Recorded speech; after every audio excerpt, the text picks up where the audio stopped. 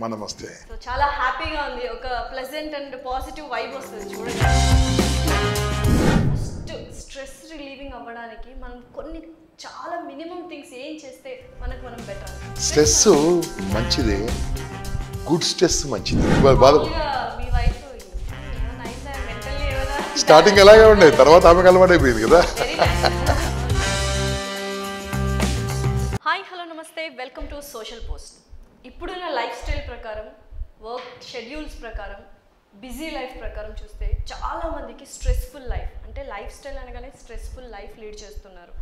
పిల్లల దగ్గర నుంచి పెద్దవాళ్ళ వరకు ఇప్పుడు ఫిజికల్ హెల్త్ ప్రాబ్లమ్స్ కంటే మెంటల్ హెల్త్ ప్రాబ్లమ్స్ ఎక్కువగా ఫేస్ చేస్తున్నారు. వీటన్నింటినీ దాటి పరుగు పందెంలో అంటే మనీ చేసింగ్లో కూడా పడుతున్నారు. స్టేటస్ మనము ప్రూవ్ చేసుకోవాలని తపనతో యంగ్స్టర్స్ కావచ్చు అటు పేరెంట్స్ కావచ్చు పిల్లలు చదువుల్లో కావచ్చు ఇట్లా రకరకాలుగా చాలామంది ఒక మెంటల్ స్ట్రెస్కి గురైపోతున్నారు. వీళ్ళందరికీ ఊరటనిస్తూ వీళ్ళందరినీ మంచి మార్గంలో నడిపించడానికి తన మాటలతో ఇన్స్పైర్ చేస్తూ మోటివేట్ చేస్తూ ఉంటారు. ఆయన మరెవరో కాదు మోటివేషనల్ స్పీకర్ గంప నాగేశ్వరరావు గారు. ఆయన మనతో పాటు ఉన్నారు. ఆయనను అడిగి మరిన్ని విషయాల గురించి తెలుసుకుందాం. నమస్కారం నాగేశ్వరరావు గారు. నమస్తే సో చాలా హ్యాపీగా ఉంది. ఒక ప్లెజెంట్ అండ్ పాజిటివ్ వైబ్ వస్తుంది చూడగానే. ఎందుకంటే ఇప్పుడు అందరము ఎంత బిజీ స్కెడ్యూల్స్లో ప్రతి ఒక్కరు దేని గురించి ఒక దాని గురించి పరిగెత్తున్నారు? పిల్లలు ఎగ్జామ్స్ పేరెంట్స్ పిల్లల్ని చెడిపోతున్నారా? మంచి మార్గంలో ఉన్నారా? దాని గురించి. యంగ్స్టర్స్ ఎలా ఉద్యోగాలు తెచ్చుకోవాలి? ఎలా చదువుకోవాలి? ఏ ఎగ్జామ్స్ రాయాలి? ఇంకా మామూలుగా పెద్దవాళ్ళు అంటే ఓల్డ్ పీపుల్ అయితే ఒంటరిగా ఉన్నాము. సో ఇలా ప్రతి ఒక్కరు వాళ్ళ వాళ్ళ లైఫ్లో సతమతం అయిపోతున్నారు ఫస్ట్ స్ట్రెస్ రిలీవింగ్ అవ్వడానికి మనం కొన్ని చాలా మినిమం థింగ్స్ ఏం చేస్తే మనకు మనం బెటర్ అంటారు? Yeah good question. స్ట్రెస్ మంచిదే. స్ట్రెస్ మంచిదే. గుడ్ స్ట్రెస్ మంచిది. రేపు ఎగ్జామ్. కొద్దిగా స్ట్రెస్ పడితే తప్పేంలే. డబ్బు పోతుంది. కొద్ది జాగ్రత్తగా పడితే తప్పేంలే. ఎక్కువ స్ట్రెస్ పడితే మొత్తం మర్చిపోతాం. దీన్ని డీ స్ట్రెస్ యూ స్ట్రెస్ అంటారు. సో స్ట్రెస్ కొద్దిగా ఉండొచ్చు. No problem. మనము ఓ ట్రైన్ వెల్ క్యాచ్ చేయాలనుకోండి. ఒక ఐదు నిమిషాల ముందు వెళ్తే ఎక్కువ స్ట్రెస్ ఉంటుంది. అయ్యో ముందు జాగ్రత్తగా వెళ్ళి నేను వెళ్ళి కూర్చోవాలి నలభై నిమిషాల ముందు వెళ్ళి. హ్యాపీ వెళ్ళిపోవచ్చు. కొద్దిగా స్ట్రెస్ ఉండాలి మనిషికి. కానీ ఆతృత ఉండొద్దు ఆవేశం ఉండొద్దు దాంతో వచ్చేది రోగము జబ్బు. మీరు చెప్పింది చాలా correct. Physical health no problem. కొద్దిగా అటు ఇటుగా ఉన్న ప్రాబ్లం లేదు. Mental health is very very important. Mental health పాడుకోవడానికి main కారణం స్ట్రెస్. స్ట్రెస్ నుంచే మెంటల్ హెల్త్ అయితే ఉంటుంది. నాకు తెలిసినంత వరకు మన భారతదేశంలో ఇంటికి ఒక మెంటల్ పేషెంట్ ఉన్నాడు. ఇంటికి ఒక మెంటల్ పేషెంట్.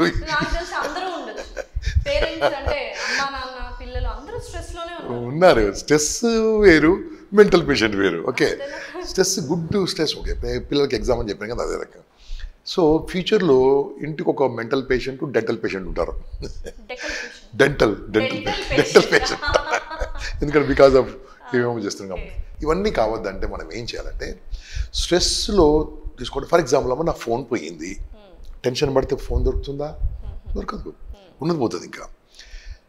నేను నా పే రేపు ఎగ్జామ్ ఉంది. అయ్యో అయ్యో రాలేదని టెన్షన్ పడితే వస్తుందా? మొత్తం మర్చిపోతాం. నా వైఫ్తో నేను ఈ ఒక అబద్ధం మాట్లాడాను దాన్ని ఎలా చేయాలో అనుకున్నప్పుడు స్ట్రెస్ పడుతుంటుంది. స్ట్రెస్ పడ్డప్పుడు ఇంకో రెండు అబద్ధం చెప్తారు మూడో అబద్ధం చెప్తారు నాలుగు ఫైనల్ మొత్తం దొరికిపోతాడు. కాబట్టి స్ట్రెస్ వచ్చినప్పుడు ఏం చేయాలంటే ఆ స్థితిని ఆ యొక్క క్షణాన్ని ఎంజాయ్ చేయాలి. ఎంజాయ్ చేయాలి. ఎస్ ఇప్పుడు నా పర్సు పోయింది నా ఫోన్ పోయింది అయితే ఏంటి? ఫోన్ దొరికే ఛాన్స్ ఉందా? ఉంది. నేను మళ్ళీ గూగుల్లో మేకప్ పెట్టుకున్నాను ఫోన్ చేస్తాను. దొరికితే దొరుకుతుంది. దొరకలేదనుకో పాత ఫోన్ పోయింది కొత్త ఫోన్ వస్తుంది. అంతే. గా ఆలోచిస్తారంటారు మన జనాలు. ఫోన్ వెళ్ళి ఏడిచారనుకో దొరుకుతుందా? మీరే నేను మీకే క్వశ్చన్ ఆ, ఫోన్ చెప్పండి. ఫోన్ నా ఫోనేనమ్మా ఒక పెద్ద క్లాస్లో ఒక పెద్ద క్లాస్లో హైదరాబాద్ దోమలగూడలో ఒక పెద్ద ఆర్గనైజేషన్లో ఆర్గనైజేషన్ పేరు చెప్పాను. అది స్పిరిచువల్ ఇంకా మన స్పిరిచువల్ ఆర్గనైజేషన్ అక్కడ నేను ఫోన్ పెట్టి మాట్లాడుతుంటే లాస్ట్కు నా సెల్ఫీ తీసుకోవడానికి వచ్చారు నా ఫోన్ కొట్టేశారు. అక్కడ ఉన్న పెద్ద మనిషి వచ్చాడు. స్వామి ఇక్కడ నా ఇక్కడ ఫోన్ పోయిందని చెప్పకండి మన ఆర్గనైజేషన్ బ్యాన్. ఏం టెన్షన్ పడకండి సార్. నాకు పోయింది కాబట్టి కొత్త ఫోన్ దొరుకుతుంది నవ్వుతూ మాట్లాడుతున్నాను నవ్వుతూ మాట్లాడుతున్నాను. వెళ్ళి చిక్కడపల్లి పిఎస్లో కంప్లైంట్ ఇచ్చాను. ఆ సిఐ మీరు వచ్చారు? అన్నాడు. థ్యాంక్ యూ సార్ ఈ రకంగా మా స్టేషన్కి వచ్చారండి ఎప్- ఎప్పటి నుంచో పరిచయం ఆయన నేను వాళ్ళకి తెలుసు కాబట్టి. రాశాడు చేశాడు. సార్ మీకు నేను చెప్తున్నాను సార్ దొరకదు సార్ అని చెప్పాడు ఆయన ముందే. కంప్లైంట్ తీసుకున్నాను దొరకదు సార్ అని చెప్పాడు. I'm talking but this is twelve thirteen years back ఇప్పుడు ఫాస్ట్ క్యాచ్ చేయొచ్చండి ఫాస్ట్ దొరుకుతుంది. అయితే ఇప్పుడు ఏం చేశాను? మా ఆవిడకి ఫోన్ చేశాను. గుడ్ న్యూస్ అన్నాను. ఏంటండి? ఫోన్ పోయింది. ఫోన్ పోయింది. అదేంటండి? ఫోన్ పోతే ముప్పై రెండు వేలు. అప్పుడు ఫోన్ పోతే ఏడుస్తారండి బాధ. స్టార్టింగ్ ఎలాగే ఉండే. తర్వాత ఆమెకు అలవాటు అయిపోయింది కదా సో ఆ రకంగా ఐ పర్చేజ్ న్యూ ఫోన్. తర్వాత రెండు నెలలు మూడు నెలలు కూడా ఫోన్ దొరకలేదు. అయిపోయింది. అంటే ఇప్పుడు మనకు ఏదైనా వస్తేగా అని తెలియదు అన్న కదా? Hundred percent. నేను చెప్పిందే నమ్ముతాను నమ్మిందే చేస్తాను చేసిందే చెప్తాను. చెప్పిందే ప్రేమిస్తాను ప్రేమించిందే చేస్తాను చేసిందే చెప్తాను. అప్పుడేమో తెలుసా? పవర్ఫుల్ వస్తుంది. You not prepare for that అప్పుడు ఆ యథాస్థితిలో ఉండాలంటే దానికి నేను లక్షలాది మందికి ట్రైనింగ్ ఇచ్చిన దాని ప్రకారము స్ట్రెస్ రావడానికి కారణం ఏంటంటే ఆ స్థితిని మనం యాక్సెప్ట్ చేసుకోకపోవడం. ఆ విషయాన్ని యాక్సెప్ట్ చేయకపోవడం. ఏమంటే నేను నల్లగా ఉన్నాను. ఇప్పుడు కలర్ కూడా వేయలేదు మీరు నాకు. ఓకే? మేము వేసుకోలేదు. ఓకే. ఇప్పుడు చెప్పండి నేను నల్లగా ఉన్నాను నల్లగా ఉన్నాను అని ఆలోచిస్తే తెల్లగా ఛాన్స్ ఉందా? లేదు కదా? మీరు కొద్దిగా తెల్లగా ఉన్నారు నాకంటే. మీరు నల్లగా ఛాన్స్ ఉంది. ఎండలకు వస్తే నల్లగైతారు మీరు. కోపం వస్తే ఎర్రగైతారు చలికాలంలో పచ్చగైతారు మీరు రంగులు మారుతారు. నేను మారా ఇప్పుడు చెప్పండి పాజిటివా నెగిటివా పాజిటివ్ థింకింగ్ ఉండాలి. ఇప్పుడు నేను మారను కదా నేను తెల్ల కాను కదా. ఇది ఒక ఎగ్జాంపుల్ చాలండి. నీ పేదరికానికి కారణం ఏంటి? నువ్వే ఇంకెవరు కాదు బాస్ నీకు ఉద్యోగం రాకపోవడానికి కారణం ఏంటి నువ్వే ఇంకెవరు కాదు బాస్ నీ భార్య భర్తల సంబంధాలు గొడవలు వస్తున్న కారణం ఏంటి తెలుసా? మీరే ఇంకెవరు కాదు. మనం మనం సెట్ చేసుకోవాలి అంతే. ఇప్పుడు నా కలర్ మారదు కదా ఏం చేయాలి నేను? రెండు వర్డ్స్ ఉన్నాయండి. యాక్సెప్టెన్స్ అడ్జస్ట్మెంట్ సర్దుకోవడము స్వీకరించడం. మనం ఏం చేస్తుంటాం? చిన్నప్పటి నుంచి ఏం నేర్చుకున్నాము? సర్దుకోరా సర్దుకోరా సర్దుకోరా. సర్దుకోవడం కరెక్ట్ కాదండి. Adjustment philosophy. నేను ఇలా ఉన్నాను నేను మారను ఇంతే. దట్స్ ఇట్ నేను పొట్టిగా ఉన్నాను. పొట్టి పొట్టి పొట్టి పొట్టి అని లైఫ్ లాంగ్ ఆలోచిస్తే మీరు పొడిగే ఛాన్స్ ఉందా? లేదు కదా. దాన్ని కాస్త మార్చుకోవాలి. నేను పొట్టిగా పుట్టాను. ఎందుకో తెలుసా. పొట్టెలు గట్టలే కాదు. నా ముందు చెవడ నిలబడ్డా తలదించుకొని బతుకుతాడు. నేను తలెత్తుకొని వస్తాను. భగవంతుడు ఏం హ్యాపీ అనాలి. నేను లాగున్నాను సన్నగా ఉన్నాను. అంతే నువ్వు ఎలా ఉన్నావు అలా ఉన్నావు. దానికి ఎందుకు టెన్షన్ పడతావు? కాబట్టి మనం ఉన్నదాన్ని ఎంజాయ్ చేస్తే ఎవరు మనం బాధ పెట్టలేరండి. ఆ ఎంజాయ్ చేయడము మన పరిధిలోకి ఇంకోరిని అలవ్ చేయకూడదు. అలవ్ చేస్తే స్ట్రెస్ పడుతుంది. దానికోసము సింపుల్ పవర్ఫుల్ టెక్నిక్ చెప్తానండి. మనకున్న జబ్బు ఏం తెలుసా? జబ్బు అంటే మంచి లాంగ్వేజ్ రోగం. ఏంటంటే అందరితోని మంచోడు అనిపించుకోవాలి అందరితోని మంచోడు అనిపించుకోవాలనేది ఒక జబ్బు. ఎవరితోని ఏ మాట పడకూడదు అనే అనేది జబ్బు. ఎవరు కూడా ఎవరు నన్ను ఏమనద్దు. నాన్ సెన్స్ అండి. మీరు ఏం చేసినా అంటారు ఏం చేయకుండా అంటారు. అది చిన్న లాజిక్ మనం తెలుసుకుంటే మనం మంచి చేసినా పొగిడే వాళ్ళు ఉంటారు. అరే వీడు మంచిగా బాగుపడుతున్నాడని ఏడ్చే వాళ్ళు ఉంటారు. ఏ మోడీ గారిని అనట్లేదా దేశానికి ఇంత గొప్ప విషయాలు చేస్తున్నాడు. ఇంత టాప్ ఈరోజు నా భారతీయులు గర్వంగా కాలర్ వేసుకుని ఉన్నామే ఆయన విమర్శించట్లే? ఇక్కడ రేవంత్ రెడ్డి గారు అనట్లేదా? వచ్చిన ఈ రెండు నెలల్లో ఎంత అద్భుతాలు చేస్తున్నాడు అనట్లే? నన్ను అనట్లే? అంటే ఏంది? నేను మోడీతో రేవంత్ రెడ్డి గారితో నాతో పోల్చుకున్నాను. అంటే మనం అనే వాళ్ళు గ్యారెంటీ ఉంటారు.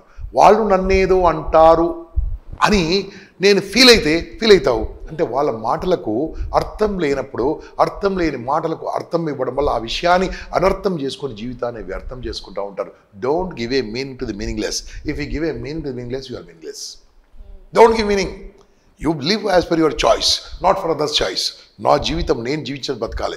నా ఇష్టంలో జీవించాలి. నేను ప్రేమించిన జీవించాలి. వాళ్ళు ప్రేమించి నేను జీవించాలి. I'm not football football life ఏం తెలుసా? అటు పదకొండు ఇటు పదకొండు తంతా ఉంటారు. ఫుట్బాల్కి వచ్చేది దెబ్బలు తండ్రిలోనికి వచ్చేది డబ్బులు. కాబట్టి మనం కాదు కదా? కాబట్టి వై ఐ షుడ్. నా అది పోయింది బాస్. పర్స్ పోయింది పోయింది. ఏం చేస్తాను? ఇది నా జాగ్రత్త. ఇది నా తెలివి తక్కువతనము. నా ఫోన్ పోయింది నా ఎగ్జామ్ పోయింది నేను ఫెయిల్ అయ్యాను. ఫెయిల్ కావడానికి కారణం ఎవరు? మీరే ఇంకెవరు కాదు. మార్కులు తక్కువ కారణం ఎవరు? మీరే ఇంకెవరు కాదు. పోనీ జాబ్ రావట్లేదు జాబ్ రావట్లేదు అని ఏడుస్తూ నాకు వందల మంది ఫోన్ చేస్తారు కదా వాళ్ళందరికీ చెప్పేది మీకు చెప్తున్నాను. కారణం ఎవరు? మీరే. చదువుకుంటున్నప్పుడు ఏం మీరు ఏం తర్వాత మీరు మీరు అది పూరించండి. ఏం చేశారు మీరు? ఎంత టైం ఇచ్చారు మీ చదువుకు? నేను ఎంజాయ్ చేద్దాను బాస్ యూత్ అంటే ఎంజాయ్ మనం మనం ఎంజాయ్ చేయాలి ఫుల్ ఎంజాయ్ చేయి. యాజ్ అ యూత్ బట్ నీ చదువు నెగ్లెక్ట్ చేశావు. నీ కమ్యూనికేషన్ నెగ్లెక్ట్ చేశావు. ఆ నెగ్లెక్ట్ చేసిన తర్వాత నీ థర్డ్ ఇయర్ ఫోర్త్ ఇయర్ అయిన తర్వాత you are on the road you are searching for job because you are not concentrate studies కదా? అంటే తప్పు నేనే. జాబులు ఇస్తారు జాబ్ ఎందుకు లేవండి జాబులు? వెతుకుతున్నారు. నేను ఇప్పుడు హైదరాబాద్లో ఉన్నానండి.